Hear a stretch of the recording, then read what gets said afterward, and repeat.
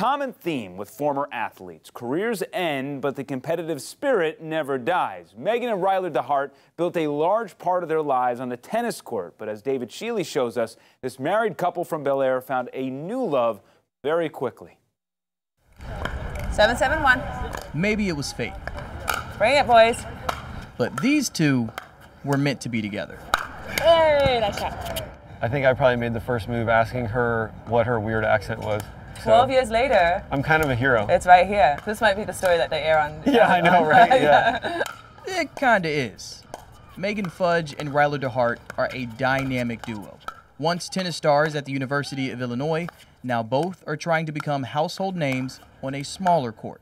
We were looking for something to do as a couple and to do socially together. And someone was like, oh, you guys should play pickleball. You know, you guys are active, you guys are competitive. I'm like, hold on, like, we're not that old. They were hooked immediately. Now, it's their livelihood.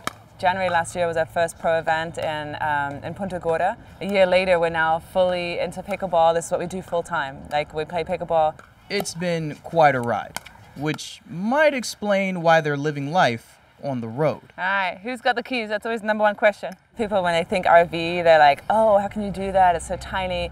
Like, we have a, it's a nice RV. This is like, you remember MTV Crib? At least while we're playing this much, we just figured it made more sense to be to have the RV and not really come back to a place. Moves like this are on brand for the couple. First time we got married, it was in Vegas, so that's a funny story, I guess. but uh, his mom found out, then I had to tell my mom. And uh, six months later, we told our friends. Yeah, that was our, our love story right there. Yeah. a story going nationwide as Fudge and DeHeart compete in the Associate of Pickleball Professionals Tour. Where else are we going? We, oh, we're going to go to New York. These two were meant to be together, just maybe not always on the same team. We just had a mixed doubles breakup, so that was kind of hard on our relationship, but uh, Megan broke up with me. From the HCC Tennis Complex. Game, set, match. David Sheely. Let's go. 10 Tampa Bay.